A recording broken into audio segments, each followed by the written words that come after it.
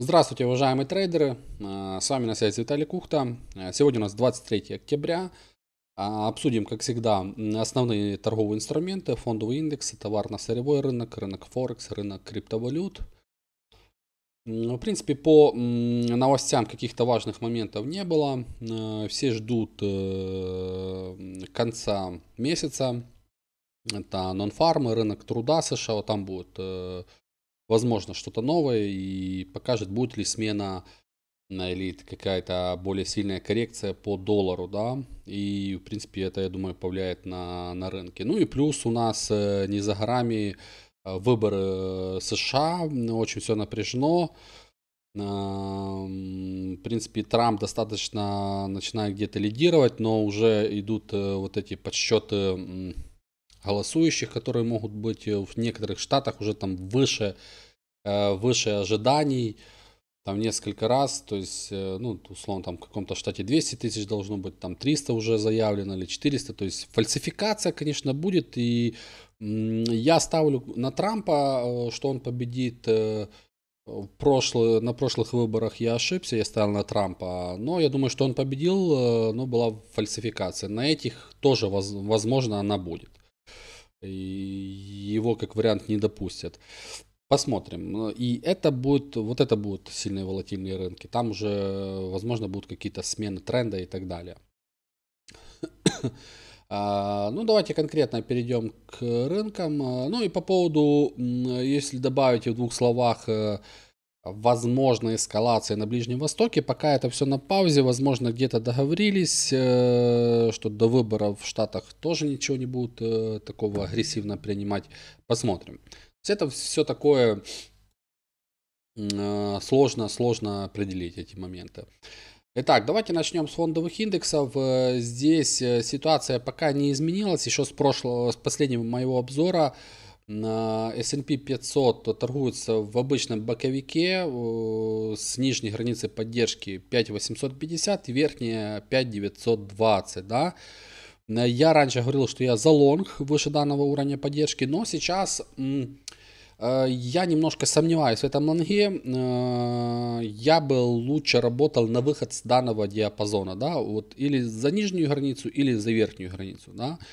А, в прошлый раз э, был аналогичный такой боковик, э, где я ожидал более глубокую коррекцию. Она не произошла, мы пробили верхнюю границу и дальше начали расти.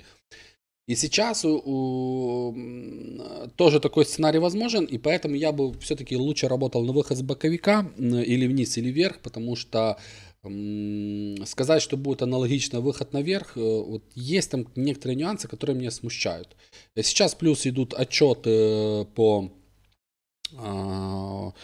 квартальные отчеты по штатам, если не ошибаюсь, сегодня Tesla отчитывается, будет, будет, э, возможно, волатильность сильная по другим акциям. Поэтому здесь э, вот я в такой неопределенности, что конкретно выйдет наверх. Могут и выйти вниз по S&P 500. То же самое касается NASDAQ. Вот мы с ребятами э, покупали NASDAQ на прошлой неделе мы в данном инструменте, вот, вот нижние границы, нижняя граница это 20 300 и верхняя граница я бы взял 20 600 ровно, да. Эм, почему? Можно еще 20 675, но я вижу вот на это, э, вот здесь держит такую, уже два раза ударились в один уровень, 2600. Чему я веду? А, мы покупали в закрытом канале данный инструмент NASDAQ. И я советовал ребятам, кто покупал от нижней границы по хорошим ценам, или перевести в безубыток, или закрыться. А, я, в принципе, в открытом канале показывал э, эту рекомендацию, а, потому что здесь тоже есть нюанс, который меня немножко напрягает. Мы, э, вот у нас есть э, такое сильное снижение импульса от 15 октября, и мы аналогично в нем удерживаем, э, удерживаем вот это движение. То есть э, я не исключаю, что как я в прошлый раз ждал, э, и, ну, как вот по примеру вот здесь, что могут и как-то скорректировать этот момент, и даже я, это очень рискованные вот эти моменты по S&P, по NASDAQ шорты. То есть вы поняли, да, суть? То есть вот эти уровни, в принципе, можно как работать на выход с данного диапазона, так работать от верхней или нижней границы а, по, по данным инструментам. Э, дальше, золото. Золото, конечно, прет в таком очень сильном тренде. Никаких коррекций оно не дало, ну вот такие маленькие вот здесь на часовичках, вот если смотреть, на дневках э, не было каких-то хороших, и я не вижу пока каких-то признаков на коррекцию. А, в разрезе, если смотреть э, доллар и золото, они растут, да, то есть э, какая основная причина? То есть на рынке нервничают, нервничают инвестора, когда э, есть нервы, э, то все вкладываются в золото и в доллар. Но вопрос только, почему растет фондовый рынок? Это понятно, там куча ликвидности, байбеки, и вот это тянет, но оно тоже сложно, сложно вот эти моменты спрогнозировать. Это я э, когда еще там две недели назад начал покупать доллар, через валютную пару доллар-франки, доллар-иену. А, ну, я думал, как-то они будут коррелировать, э, потому что если там доллар растет, золото падает, фондовые индексы падают. Но э, видим по, немножко по-другому. Это пошло по другой схеме. Такое тоже бывает. Э, можно ошибиться в этом направлении. Ну, что сказать. Дальше, дальше только вверх. Ну, каких-то точек входа я такие штуки не люблю торговать, э, только если на мелких там фреймах, мелкие проторговки с короткими стоп-лоссами, да, можно покупать. Но я такие штуки, штуки э, пропускаю. Поэтому здесь конкретно каких-то то же самое серебро, большой импульс нарисовало, коррекцию толком не дали э, и снова начали расти, поэтому здесь эм, Э, здесь пока э, сложно с точками входа. Но по тренду, если на мелких таймфреймах, то в принципе можно, можно искать точки входа. Дальше, что касается нефти, э, здесь у меня такая двоякость по этому инструменту. Э, здесь я ранее обсуждал, что есть вариант и глобального шарта, и возможного локального спекулятивного роста. А, я долго думал, и вот последние дни э, в этой зоне 73 по Brent э, я присматривался к покупкам, и в закрытом канале мы, э, скажем, я советовал покупать нефть в этой зоне. Здесь очень все коряво. Есть причины для роста у нас, вот если смотреть локально, у нас идут повышающиеся минимумы. Э, плюс у нас идет ретест прошлого нисходящего тренда. И э, мы, мы от этой зоны 73 э, плюс-минус мы здесь купили. Вчера получился небольшой отскок. Если мы все-таки сегодня не, не продаем вот этот момент, вчерашний рост, то в таком случае дальше лонги сохраняются. Здесь еще бы подождать несколько дней, чтобы понять, все-таки эти лонги, вот у нас получается вот последние два дня рост, если мы его удержим, то дальше можно снова рассматривать лонги. Если мы сегодня его сильно поглотим, то дальше, э, скорее всего, дальше будет снижение. То есть вот такая, здесь бы я пока бы был в ожидательной позиции по данному инструменту. Э, то же касается натурального газа. Натуральный газ э, еще там недельку назад я говорил, что можно спекулятивно пробовать чертить. На текущий момент я по натуральному газу пока в ожидательной позиции. Я буду ждать формирования крупной модели на возможный среднесрочный лонг, если она нарисуется. То есть я говорил раньше еще, что я жду газ в район 3,50 и 4 доллара. Да? То есть мне нужно, чтобы вот эта коррекция, которая у нас длится уже несколько недель, она показала окончание. А, ну, по примеру, как вот здесь, э, вот здесь такой паттерн крупный. Я не знаю, какой здесь нарисуется, но мне нужно, чтобы а, оно здесь нарисовалось. Если не нарисуется, то у нас есть дальше шансы падать на а, дальше в район полтора доллара, вот, вот, вот эти минимумы, да, то есть мы можем их дальше трогать. Но я пока придерживаюсь такого сценария и буду выжидать, э, если нарисуемся, я в следующих обзорах и в закрытом канале про сигнал буду об этом говорить, и дальше может получиться хороший, хороший заработок, если все нарисуется и, и газ покажет э, хороший рост. Возможно, это будет связано это уже будет чуть позже, там, ближе к выборам. А, возможно, какая-то эскалация на Ближнем Востоке, там нефть, газ. Э, то есть будет интересно, да.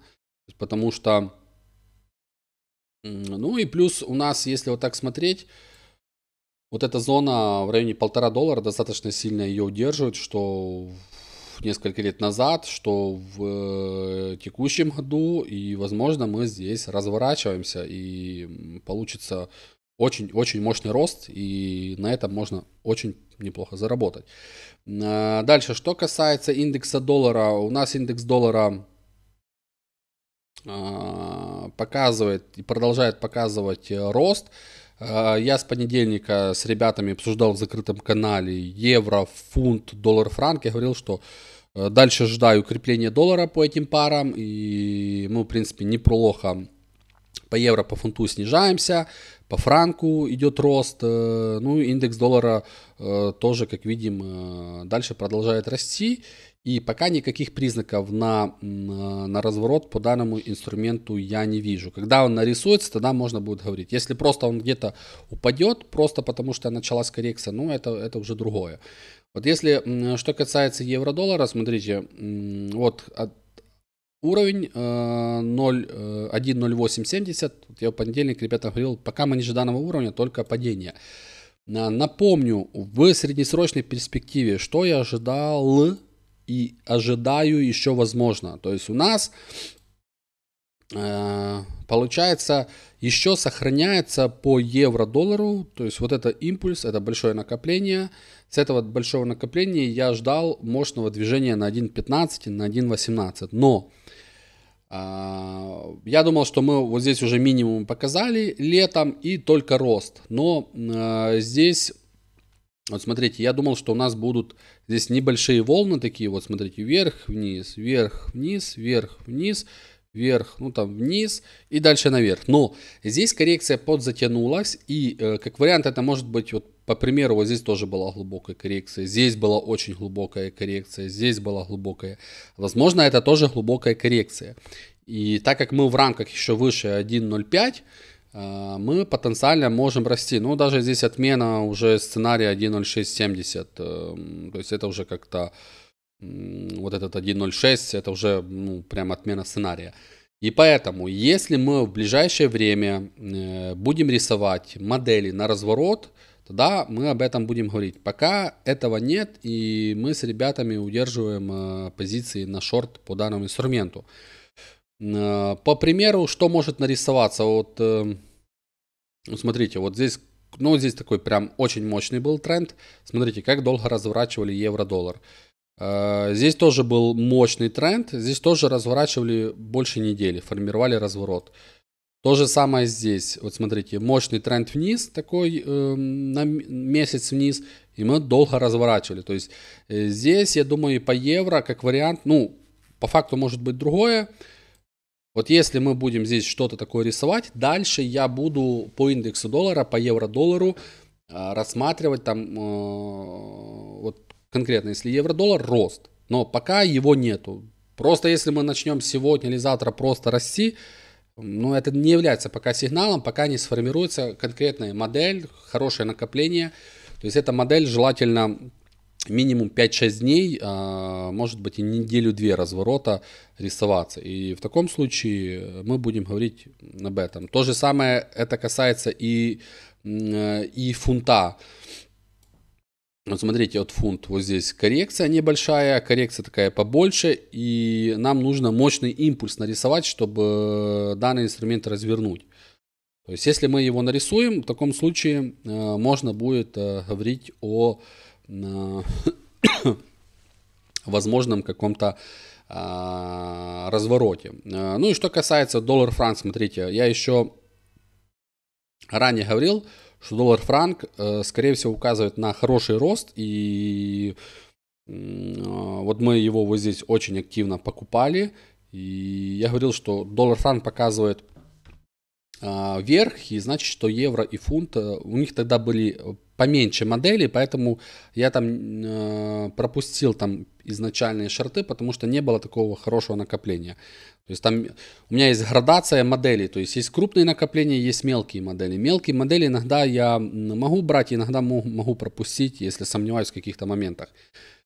И поэтому Франк неплохо себя отработал, мы уже э, часть зафиксировали, стоп-лоссы по, поднимали, потому что мы уже на такой грани, что рынки могут плюс-минус где-то и начинать э, разворачиваться. То же самое доллар-иена еще, кто помнит ранее, говорил, что доллар-иена только наверх, то есть доллар-франк, доллар-иена наверх.